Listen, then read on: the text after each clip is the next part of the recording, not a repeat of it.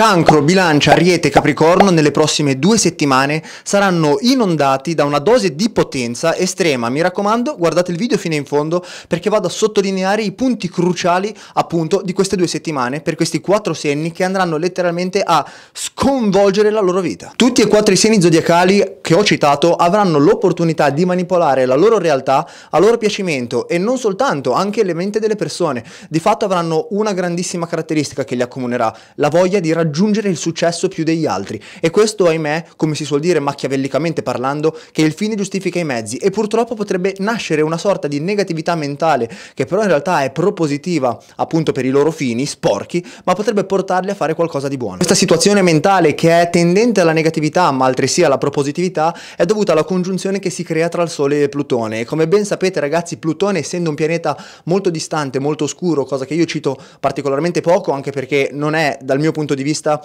una cosa che mi fa piacere tramandare come messaggio, però io lo chiamo il pianeta della morte, diciamo che questo genera che cosa nella mente di chi ne è affetto, soprattutto quando è in congiunzione col Sole? Genera una voglia, diciamo, di scavare a fondo nella realtà, nel capire che cosa si nasconde e quali sono effettivamente i trucchi, no? Come quando uno gioca ad un videogame e vuole scovare il modo per farcela, per vincere sempre, e questi trucchi una volta che li scopri non li dici al prossimo e li utilizzi, diciamo, un po' a tuo comodo, ovviamente con un tempo limitato, perché prima o poi comunque questi trucchi verranno bloccati e di fatto verranno bloccati quando non sarà più in congiunzione il Sole con Plutone. La maggior parte inoltre di questi segni sarà anche particolarmente proiettato a fingersi anche bisognosi di aiuto da parte del prossimo, saranno anche abbastanza delle vittime eh, util che utilizzeranno appunto questo aspetto per manipolare la mente delle persone che appunto ne saranno influenzate da questo loro senso di vittimismo e fondamentalmente in realtà è un altro dei mezzi che utilizzeranno per raggiungere ciò che vogliono. Bisognerà sì quindi stare molto attenti a questi quattro segni, soprattutto stare attenti quando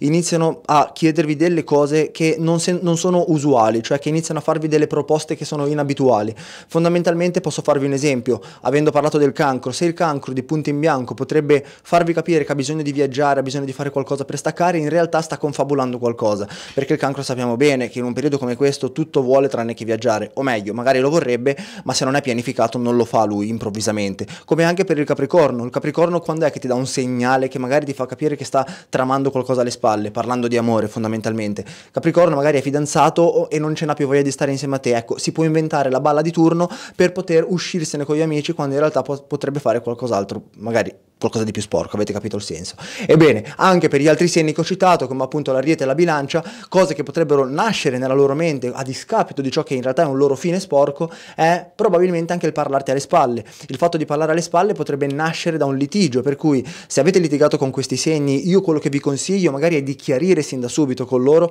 e di non andare ad alimentare la fiamma di astio che si è creata fra voi. Non a caso questi sono dei grandissimi oratori, l'ariete quando inizia a parlare, nonostante non pensi troppo alle parole che dice, diciamo che riesce a raggiungere l'obiettivo, ovvero farsi capire, e per non parlare della bilancia, che al contrario è in grado di parlare molto bene, è un'abile oratrice o oratore e soprattutto la bilancia è una persona che sa realmente dove colpire nel segno. Se vuole farti del male, diciamo che è una delle più indicate tra i segni zodiacali a farti del male. Tutto sommato quindi questi segni qua avranno una potenza immane che li travolgerà, una potenza dettata principalmente anche da questo transito di sole in acquario che come ben sapete dal 21 di febbraio potrebbe portare a tutti noi un senso di ribellione ribellione, di rivolta nei confronti del mondo, per non parlare anche di Plutone che se ne va in acquario no? il giorno dopo. Quindi diciamo che ragazzi questa congiunzione tra Sole in acquario che viene a crearsi e influenzata da un buon acquario che come ben sapete quest'anno qui è tutto tranne che tranquillo, abbastanza fomentato, abbastanza turbolento, genererà nella mente di questi quattro segni principalmente in tutte le sezioni del loro tema natale, delle loro vite,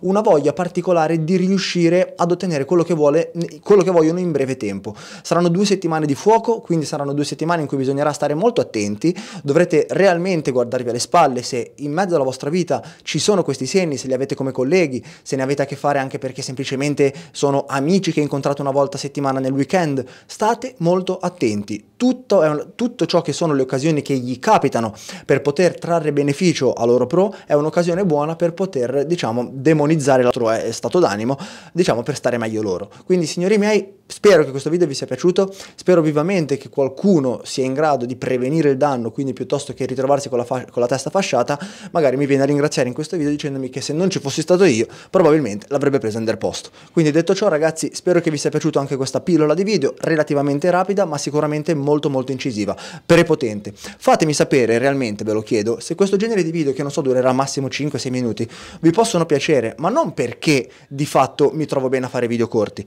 ma perché voglio probabilmente dare anche alle persone che non hanno tempo di vedere magari un video di 50 minuti, che di solito li faccio molto lunghi, di capire subito il messaggio e come ben vedete cerco di velocizzare. Probabilmente sembro anche più innaturale nel parlare, perché a me piace anche parlare in modo più lento, riflessivo, ragionato e quant'altro. Però devo dire che posso rispettare il volere di qualcuno che magari mi chiede di essere più rapido. Quindi signori miei, se vi fa piacere, anche se non vi fa piacere, io qualche video così lo pubblicherò solo per il gusto appunto di rendere felici anche le altre persone. Non posso fare diciamo le, le, le preferenze di tutti, no? Però cerco di rendere felici un po' tutti quanti. Eccoci qua, ciao!